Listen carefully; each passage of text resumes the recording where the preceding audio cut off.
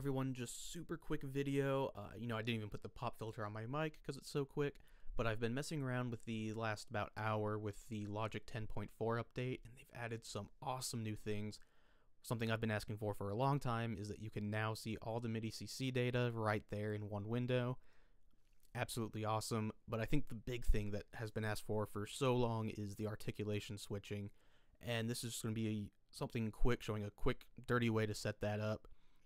Uh, right now, I have Berlin Strings whole ensemble key switch patch loaded in Kontakt, and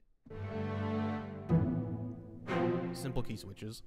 And if I were to play this region right now, because I have the sustained key switch on, you're going to hear just this whole passage played sustained. Which is pretty boring. I don't want it to sound like that. So what we're going to do now, we can go to articulation down here, new, and we just have to add some articulations. So we'll call this sustain. We'll add another one, name it pizz. And then finally another one called spiccato.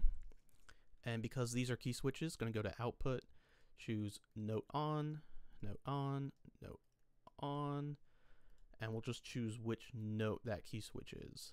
So in case that's the sustain, that's the pizzicato, and this one's the spiccato. So that will change based on your library.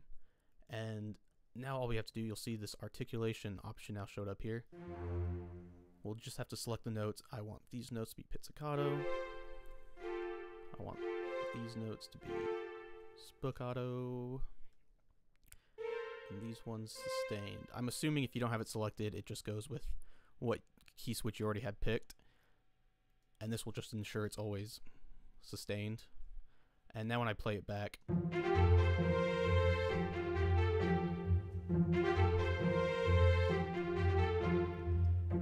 and that's just super cool because you can see it's playing multiple articulations at once, and I mean, it's really quick to do.